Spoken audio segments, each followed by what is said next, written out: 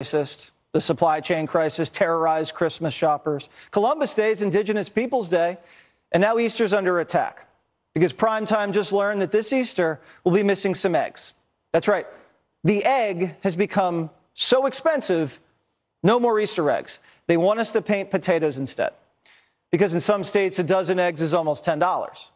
Easter egg hunts, basically same thing as throwing your daughter a wedding. Can't afford it. Uh, Biden denies he has anything to do with this, but here he is last year taking orders from the Easter Bunny. Pakistan should not, and Afghanistan should be. Oh, the Easter Bunny, Easter Mr. President. So the Easter Bunny wants you to paint potatoes and hide the potatoes in your yard. Now, Biden's Irish, so that makes sense.